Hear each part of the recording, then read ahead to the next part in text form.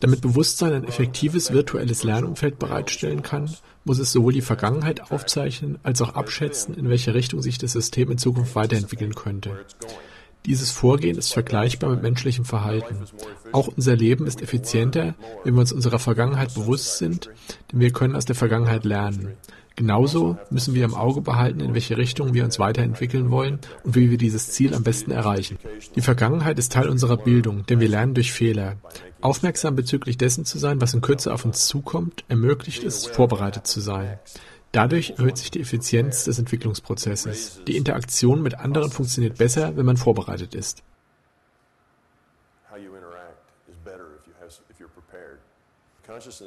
Das Bewusstseinssystem berechnet unsere physische materiebasierte Realität. Unsere Realität als physisch und materiebasiert zu bezeichnen, entscheidet vielleicht redundant, aber es gibt auch andere Realitäten als unsere eigene, zum Beispiel nicht physische Realitäten. Und dort gibt es auch nicht physische Materie.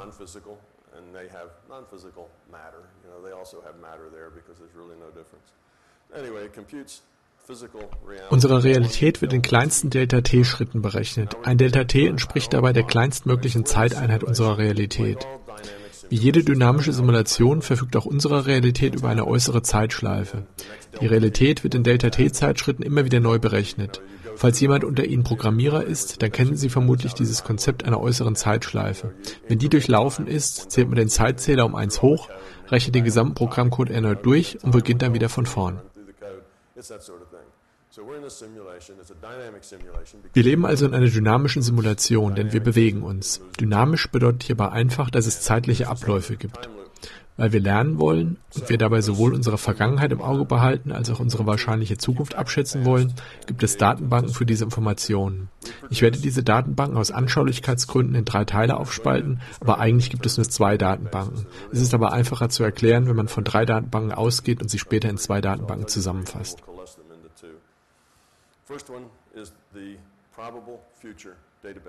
Die erste Datenbank ist die Datenbank der wahrscheinlichen Zukunft. Sie übernimmt die Vorausberechnung unserer Realität.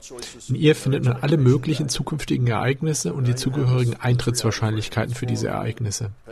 Es gibt also ein Realitätskonstrukt, das voller individueller Bewusstseinseinheiten und einer Riesenmenge an Dingen ist. Weiterhin gilt in dieser Realität ein Regelsatz, der durch Physik, Biologie und andere Wissenschaften beschrieben wird. Und dann gibt es da noch Zeit, die abläuft. Im gegenwärtigen Moment, also diesem Delta T, trifft jeder Mensch Entscheidungen. Wir verfügen über einen Raum an möglichen Entscheidungen und wir treffen dann Entscheidungen und verhalten uns entsprechend.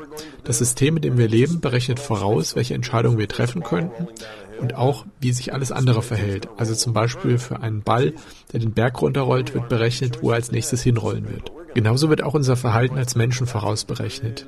Sie sagen jetzt vielleicht, das ist aber schwer, weil Menschen oft unberechenbar reagieren.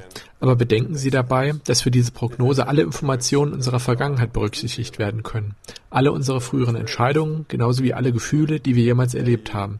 Vom ersten Schrei als Kleinkind bis zur Gegenwart. Das System hat nicht nur diese Daten zur Verfügung, sondern auch noch ältere Daten, zum Beispiel aus Ihrem früheren Leben. Jeder Gedanke, jedes Gefühl, jede Entscheidung steht zur Verfügung. Daher ist ihr zukünftiges Verhalten relativ gut abschätzbar. Da eine Delta-T-Zeiteinheit so extrem klein ist, muss das System nur einen klitzekleinen Schritt in die Zukunft vorausberechnen. Wenn man sich auf gängige Größen aus der Quantenmechanik bezieht und annimmt, dass die Planck'sche Länge und die Lichtgeschwindigkeit einigermaßen gesicherte Konstanten sind, dann ergibt sich für Delta t ein Wert von 10 hoch minus 44 Sekunden.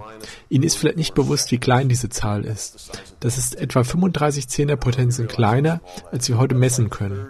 Wir messen heute Zeit in Nanosekunden oder vielleicht in Zehntel Nanosekunden und sind mächtig stolz darauf, dass wir das können. Aber wir reden hier von einer Nano, Nano, Nano, Nano, Nanosekunde.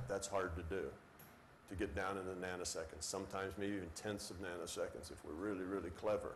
This is a nano, nano, nano, nano, nanosecond. See, this is, you're, uh, you're basically many orders of magnitude smaller. So einen winzigen Schritt von 10 auf minus 44 Sekunden in die Zukunft abzuschätzen, wie man sich verhalten wird, ist also nicht wirklich schwer. Was das System dann jedoch macht, ist, es nimmt an, dass diese Verhaltensprognose stimmt und es berechnet dann einen weiteren Delta-T-Schritt in die Zukunft.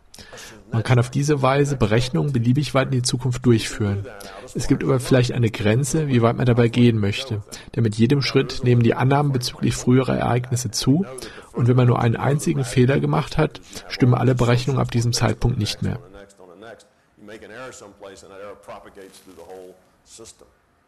But Sobald man aber diese Berechnung einmal durchgeführt hat und man merkt, dass eine Annahme falsch war, muss man nicht das ganze System neu berechnen, sondern nur die von der Annahme betroffenen Aspekte. Wenn also jemand seinen freien Willen nutzt und etwas macht, was das System für nicht möglich gehalten hat, dann muss es ab diesem Zeitpunkt die Zukunft für diese Person neu berechnen. Aber für alles andere, was davon nicht direkt betroffen ist, ändert sich nichts. Dadurch, dass es die Datenbank der wahrscheinlichen Zukunft gibt, muss das System stets nur auf unvorhergesehene Veränderungen reagieren und für diese Aspekte eine neue Zukunftsprognose berechnen. Deshalb muss nicht das ganze System permanent neu berechnet werden. Die Datenbank hat noch eine weitere wichtige Funktion. Wenn uns die Experimente der Quantenphysik zeigen, dass unsere Realität auf Wahrscheinlichkeiten basiert, wo kommen diese Wahrscheinlichkeiten dann her? Wenn wir eine Messung durchführen und das Ergebnis der Messung den wahrscheinlichsten Zustand des Messobjekts zeigt, woher stammt dann eigentlich diese Wahrscheinlichkeit? Sie stammt aus der Datenbank für die wahrscheinliche Zukunft. Die Datenbank ist ein zentrales Element, das zur Berechnung unserer Realität benötigt wird. So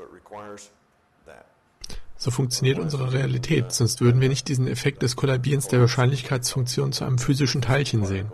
Dieser Prozess beginnt mit einer Wahrscheinlichkeit, die in der Zukunft liegt, denn die Messung findet in der Gegenwart statt. Die Gegenwart ist der einzige Zeitpunkt, zu dem man eine Messung durchführen kann. Nach dem gegenwärtigen Moment gibt es eine riesige Menge an möglichen zukünftigen Ereignissen, zukünftige Entscheidungen, die man treffen kann, oder zukünftige Handlungen. Alles versehen mit einer Eintrittswahrscheinlichkeit. All diese Daten sind in der Datenbank für die wahrscheinliche Zukunft gespeichert.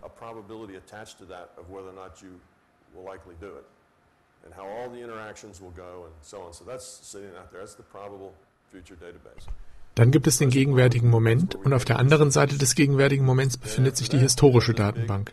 Diese Datenbank teile ich in zwei Teile auf. Der erste Teil repräsentiert alles, was wir tatsächlich getan haben, unsere Entscheidungen und so weiter, den Ball, der etwas weiter den Berg runtergerollt ist. Das entspricht unserer tatsächlich realisierten Vergangenheit. Alle theoretisch möglichen Optionen, die wir jedoch nicht ausgewählt haben, wandern in den zweiten Teil der Datenbank, welche die nicht realisierten Aspekte unserer Vergangenheit speichert. Im Grunde ist es eine riesige historische Datenbank, durch die ein einzelner roter Faden läuft, der die tatsächlich realisierte Vergangenheit repräsentiert. Es gibt also die Datenbank der wahrscheinlichen Zukunft und die Datenbank der Vergangenheit, und beide sind im Grunde komplementäre Aspekte. Die ganzen Wahrscheinlichkeiten aus der möglichen Zukunft werden zu Wahrscheinlichkeiten in der historischen Datenbank und beschreiben, was möglich gewesen wäre, zusammen mit der einen tatsächlich realisierten Variante. Diese Datenbanken stehen jedem Menschen zur Verfügung. In der Hindu-Tradition bezeichnet man sie als die Akasha-Chronik. Das sind einfach vorhandene Informationen und beide Datenbanken sind erforderlich, um unsere Realität zu erzeugen.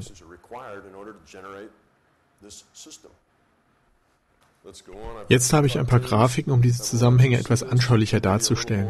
Die Beschreibungen sind etwas schwer zu erfassen. Diese Darstellung hier ist da etwas intuitiver. Der rote Punkt hier repräsentiert unser System. Damit ist sowohl unser physisches Universum als auch nicht physische Aspekte außerhalb des physischen Universums gemeint, die mit uns interagieren. Das Ganze ist ein Zustandsvektoransatz, den man auch aus Mathematik, Physik oder den Ingenieurwissenschaften kennt. Unser System hat in diesem Beispiel nur drei Wahlmöglichkeiten, um sich weiterzuentwickeln. In Wirklichkeit hat es natürlich Billionen von Möglichkeiten, aber der Einfachheit halber betrachten wir nur drei davon. Zum gegenwärtigen Zeitpunkt liegen alle drei Optionen in der Zukunft und sind in der Datenbank der wahrscheinlichen Zukunft gespeichert. Alle drei Optionen stellen somit mögliche zukünftige Zustände dar.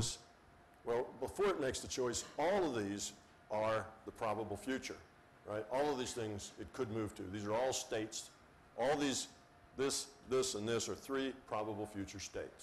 das System trifft also eine Entscheidung, hier durch die rote Linie gekennzeichnet, und nimmt den rot umrandeten Zustand hier rechts an. Ab diesem Moment sind die drei blauen Kreise die nächsten drei möglichen Zustände, aus denen das System auswählen kann. Die beiden Möglichkeiten hier auf der linken Seite sind jetzt Teil der nicht realisierten Vergangenheit. Das sind die Dinge, die wir hätten tun können, aber nicht getan haben. Die rote Linie ist also der rote Faden der realisierten Vergangenheit, der sich durch die Datenbank zieht.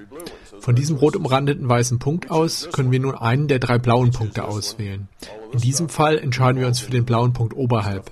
Die beiden anderen blau markierten Zustände werden dann wieder Teil der nicht realisierten Vergangenheit.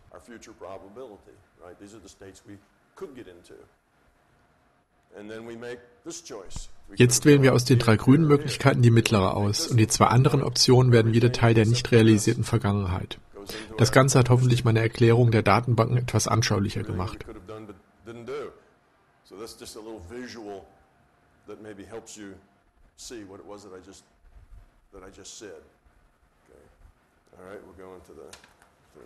Hier ist eine weitere Grafik, die zur Veranschaulichung des Zeitaspekts dient.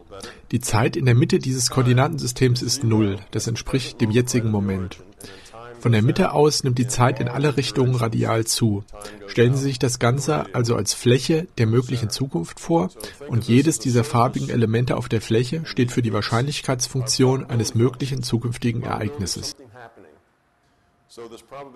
Das Ganze entspricht also einer dreidimensionalen grafischen Visualisierung der Datenbank der wahrscheinlichen Zukunft, damit man davon einen intuitiven Eindruck bekommt.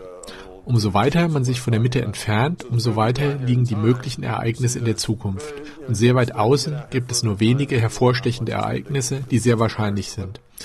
In der Nähe der Mitte hingegen gibt es viele hohe Spitzen, die für sehr wahrscheinliche Ereignisse stehen, die in Kürze eintreten werden. Die Z-Achse hier ist mit dem Wort Wahrscheinlichkeit beschriftet.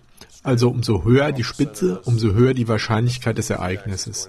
In der Nähe des Nullpunkts sind also viele Ereignisse sehr wahrscheinlich.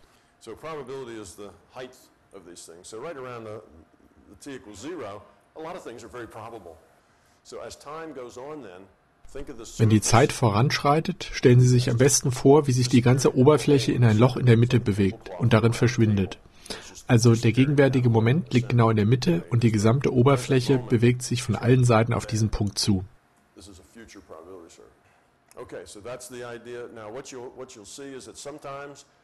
Manchmal gibt es dabei Wahrscheinlichkeitsverteilungen wie die hohe Spitze hier links außen, die Ereignisse repräsentieren, die weit in der Zukunft liegen, aber trotzdem sehr wahrscheinlich sind. Wenn man diese Ereignisse kennt, kann man eine relativ sichere Prognose für die Zukunft abgeben. In anderen Fällen hingegen ist die Verteilung nicht so eindeutig und mehrere Optionen sind gleich wahrscheinlich. Dort herrscht also große Ungewissheit. Einige dieser Ereignisse sind in Richtung der Zeitachse gestreckt. Da weiß man nicht genau, wann sie eintreten. Andere sind radial gefächert. Da wissen wir nicht genau, was passieren wird.